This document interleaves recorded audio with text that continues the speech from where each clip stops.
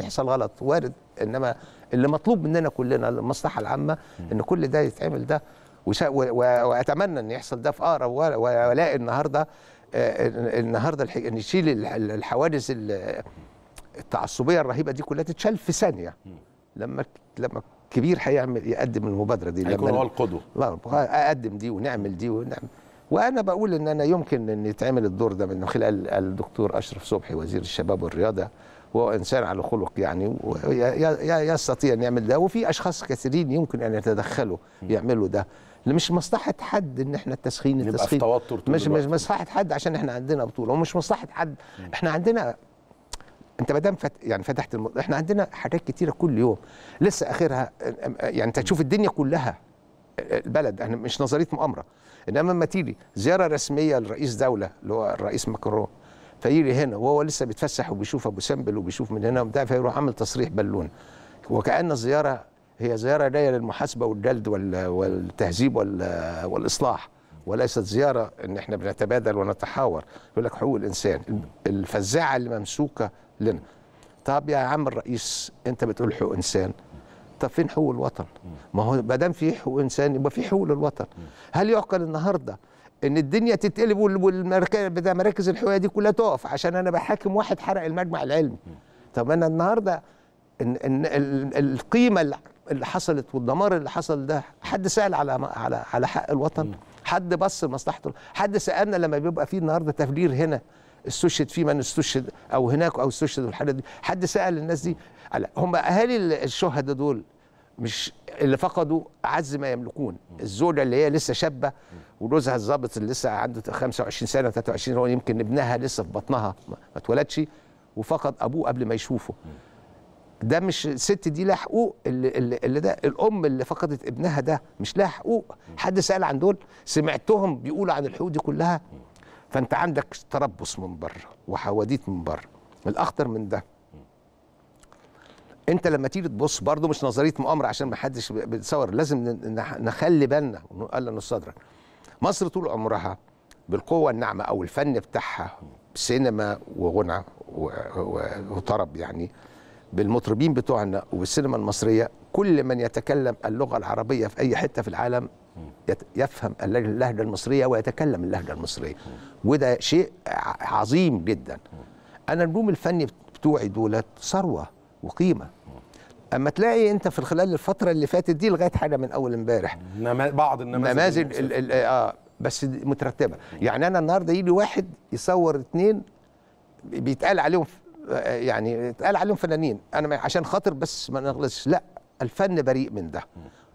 والعمالقه الفن اللي في مصر من- اللي توفوا رحمة الله عليهم واللي موجودين النهارده اللي موجودين في السينما المصرية وبيقدموا لنا في حاجات السينما وفي المسرح وفي وفي وفي الغناء وفي الكلام ده. لا لا لا. 99 و9% منهم 9% من 100 في انهم ناس أفاضل. ويهمنا إن إحنا إنما تشويه الفن. جزء من شخصية أي مجتمع آه قيمة آه ده. قيمة. دي قوتي. أنا النهارده الوسائل التربوية اللي هي الرياضة والفن والأدب والثقافه كل ده. النهارده لما يحصل فيها خلل ويحصل الخلل ده في الرياضة بالتعصب ده ويحصل الخلل في الفن يظهر وكأنه وكأن من يعمل في الفن عندنا ناس دي فاقدة الأخلاق وده مش حقيقي. تطلع اتنين بيصوروا بملابس داخلية أو مش لابسين حاجة واللي صورهم يسرب ده ويحطه. دي نقف بقى دي نتكلم مع بعض فيها. ليه؟ بيتعمل ده ليه؟ لما بيجوا هم بيتحاسبوا على خدش الحياء العام ومش عارف لا. ده قبل ده وده ده هم بيدمروا سمعة الفن المصري. لا دول بيدمروا سمعة الفن المصري. بتسيء لقطاع كامل. كامل. ما انت ما. انت ال- السيئة بتعم. بتسيء لده. إحنا نرفض ده تماما. علينا أن ندافع عن الفن وعن الفنانين لأن هم دول قوات. إحنا في الفترة اللي إحنا بسبب قرار أنا ما أعرفش اتاخد ليه لما الدولة رفعت إيدها عن الفن وعن الانتاج السينما والكلام ده كله وقعنا الوقعة ديت. السنة دي لما جه الإعلام المصريين وأنا بحييهم على اللي عملوه. النهارده لا لا لا, لا الزيطة اللي بتعمل كتير ديت أعمال كلها لا ترقى. شوف تركيا في الفترة اللي فاتت المسلسلات بيعملوا مسلسل 100 حلقة أو 200 حلقة والكلام ده كله. عملت منها السياحة قد إيه؟ عمل دعاية الحمد لله إحنا رجعنا. رجعنا نعمل ده. فأنا عندي في الرياضة لما تضرب الرياضة أنا الرياضة يا أخي بقول لك أهم وسيلة تربوية واحد محمد صلاح ربنا يحميه. النهارده عامل لي دعاية وسمعة قد إيه؟ دعاية لمصر لا آه، تقدر. بمال أنا فنانين عاملين لي النهارده في الوطن العربي قد إيه؟ وهم دول في الأول وفي الآخر دول حاجة مهمة جدا. فأنت ده بيتخبط.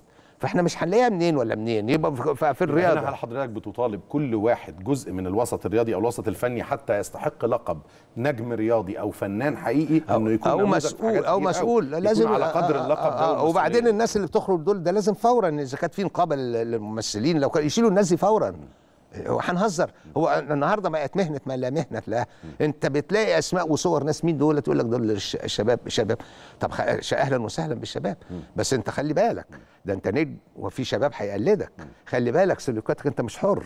ده انت إيه الشكل اللي مقيد. بتقدمه للمجتمع ده؟ ده انت آه وما تقوليش حياتي الشخصية. لا لا لا لا لا, لا. أنا اللي مستغرب له أنتوا بتتصوروا ويعني وبتبرطعوا وبتعملوا حاجات غريبة جدا خارج عن كل. إيه اللي يطلع دي لبره وإيه الهدف منها؟ هو ده السؤال. اللي إحنا نسأله لنفسنا ونعرف إن ده مقصود ولا مش مقصود والهدف منه حضرتك إيه؟ بتشعر إن كل هذه ال- الحاجات الشاذة أو الغريبة جزء من محاولات للإساءة للمجتمع المصري ما ما. أيوه أنت لما تخبط لي الفن بتاعي وتيجي في الكورة عندك مش عارف مش عارف تدخل جمهور الماتشات ومش عارف تلعب كورة وطول النهار ده الأسماء الكبيرة جدا دي الناس بتشتم في, في ناس والناس بتعمل ده يبقى إحنا يبقى إحنا مش طيب، دولة أستاذ إبراهيم على ذكر حضرتك دلوقتي للجمهور النادي الأهلي في قراراته الأخيرة قال إنه متمسك بحقه في وجود جماهيره وفقا للنسبة المحددة واللي تم آه، يعني دخولها لعدد من الأندية المنافسة في المدرجات. رأي حضرتك ما هو إيه؟ ده حق. وإلى متى يمكن للأهلي أن يحتمل وجوده في الملعب بدون جمهور لا لا ما هو أصل ده حق. طالما إن أنا أنا عايز أقول إذا كانت الظروف امنيا بتسمح لا تسمح بده هن- هننصاع لده. إنما إذا كنت أنت سمحت لجماهير 30 و40 ألف انهم يخشوا في قناة يبقى بنسمح للكل. هي كده. يعني هي المسألة كده. وعندما يحدث أي تجاوز في نبقى ن- نتكلم في هذا الموضوع إنما ده حق طبيعي يعني. في آه، بعض الأخبار عايز حضرتك هنرجع طبعا لموضوعات بالغة الأهمية اللي حضرتك بتتكلم عنها والحوار الشيق آه، حديث حضرتك الشيق في الرياضة وفي الحياة بشكل عام. آه، خلينا ناخد مجموعة من الأخبار الجديدة في النادي الأهلي وعلى صعيد كرة القدم تحديدا.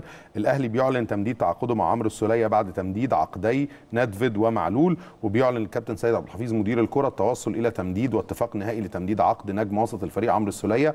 وأيضا في تفاصيل كثيرة جدا عن الاهتمام بكل عناصر القوة في الفريق والبحث في كل العقود اللي تحتاج للتمديد في الفترة الجاية حرصا على القوه الضاربه للفريق. رأي حضرتك إيه في تمسك الفريق والنادي في الفترة دي بكل نجومه وكل قوته الضاربه ما هو في مثل بيقول لك اللي اتلسع من الشوربة ينفخ في الآيس كريم مش مش في الزبادي يعني النادي الأهلي في في مشكلة كبيرة جدا ما كانت تحدث لو إن أنا آه، آه، يجي ميعاد التجديد بتاع اللاعب بعمله في الوقت المناسب. إنما لما بسيبه لغاية ما يبقى أنت عارف إن اللاعب لو قعد لو وصل للموسم الأخراني ليه بيبقى أول ما بيجي لمرحلة معينة بيبقى من حقه إنه يروح في أي حتة وتبقى بقينا ده. طب أنا النهارده ده عمرو السولية لسه فاضل له سنة يعني خدت بالك قبل ما أخش في المرحلة اللي هي بتاعت السنة دي أنا بجدد وده طبيعي. أنا النهارده لأن المسألة النهارده المسألة مش يعني مش قرار لأن ده بينسحب على على جماهير كبيرة جدا بتحب هذا النادي. فأنا النهارده بينسحب فأنا لازم بحكم مسؤوليتي إن أنا أبقى فاهم ومتيقظ والكلام ده كله للأمور دي كلها.